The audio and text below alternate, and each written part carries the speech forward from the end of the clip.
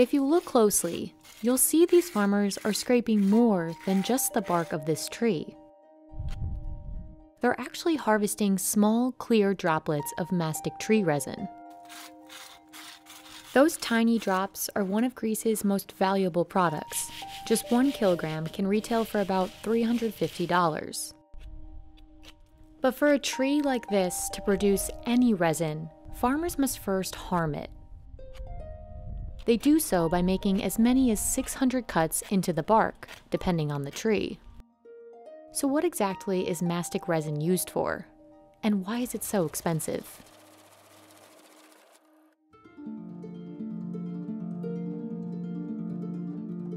Mastic, or mastiha as it's most commonly called, has been produced in Chios, Greece for centuries.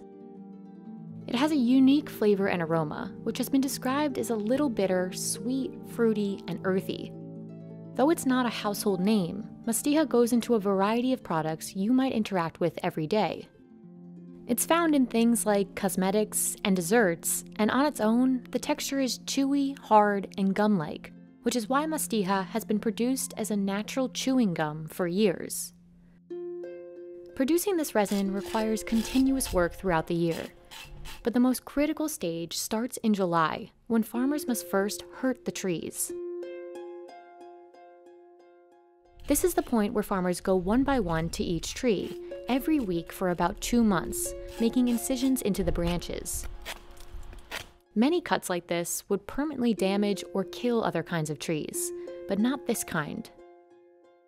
Ε, το δέντρο ε, παράγει το μαστίχι ουσιαστικά για να επουλώσει αυτές τις τομές που εμείς του προκαλούμε.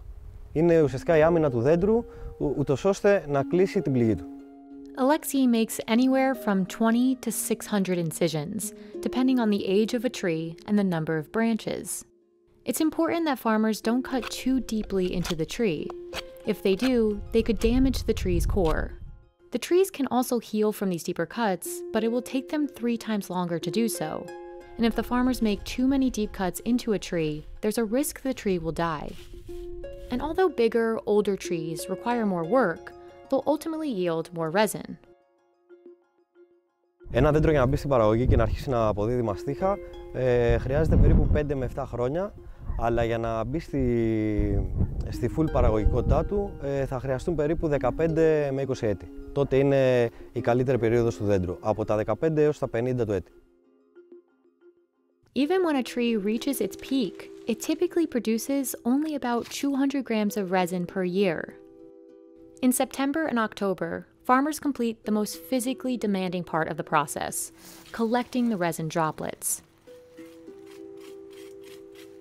They use tools called kamotiri to scrape the secreted resin from the bark. If this work isn't done right, harvesters risk breaking the resin into small pieces and losing money. Γιατί αν γίνει σκόνη, ξύνοντας πολύ δυνατά το δέντρο ή πολύ απότομα ή πολύ γρήγορα, ε, τα δάκρυα θα, γίνουν, θα σπάσουν και θα γίνουν σκόνη, οπότε χάνουμε από το τελικό προϊόν. Mastiha trees flourish here because of the distinct climate of Chios Island where there is little rain in the summer. This makes it easier for farmers to collect the resin. In fact, people have tried unsuccessfully to plant mastiha producing trees in places like Italy. Ε, η μαστίχα είναι ηχείος ε, και ηχείος είναι η μαστίχα, δηλαδή είναι συνυφασμένο το, το προϊόν με το νησί. Ε, καλλιεργείται από τα αρχαιοελληνικά χρόνια, έχει κάνει τυχείο διάσημη σε όλο τον κόσμο Producers collect each droplet from the ground and sieve it to separate the clear drops from the soil. The resin at this point is a semi-transparent and sticky liquid. Farmers store the resin until the weather cools down so it will harden, becoming less sticky and easier to handle. After this, they wash the drops before workers remove any remaining dirt or impurities and divide the drops according to size. Cleaning the resin lasts several months, and it requires patience and a good eye.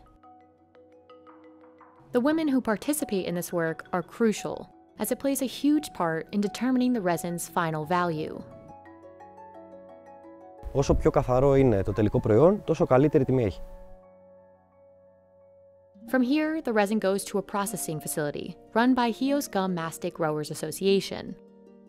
This is where it will be packaged as raw mastiha, or further processed into gum, supplements, and oils.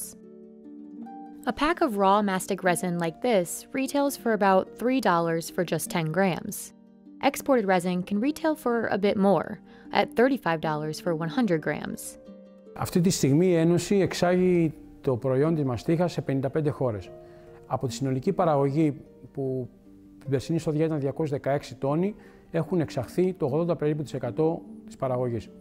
Ε, στην Ελλάδα καταναλώνεται περίπου το 20% ως φυσική ρητίνη, αλλά και ως παράγωγο σε τελικά προϊόντα. Another reason the resin remains so valuable has to do with its presumed health benefits. In 2015, the European Medicines Agency recognized mastiha as a form of traditional medication for treating stomach issues and skin wounds. But the varied uses of this resin and its incredible value make it vulnerable to imitation. As a way of preventing this, the European Union has recognized mastiha produced in Chios as a protected designation of origin product. The production of the real mastiha faces a threat from the climate crisis too.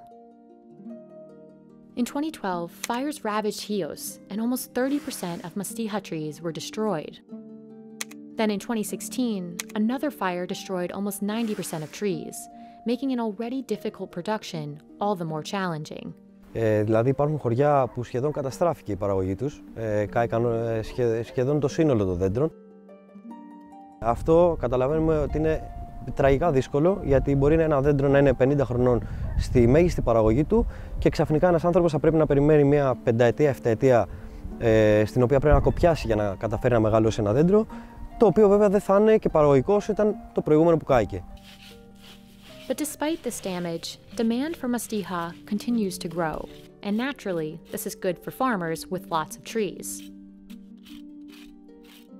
Alexei sells one kilogram for about $99. This is the cost before the jump in price when the resin is sold at retail. He produces about 1,000 kilograms of resin each season. Even with the cost to maintain the trees, this work provides him a good living. And beyond good returns, the work these farmers are doing continues to preserve a centuries old tradition only found in Chios.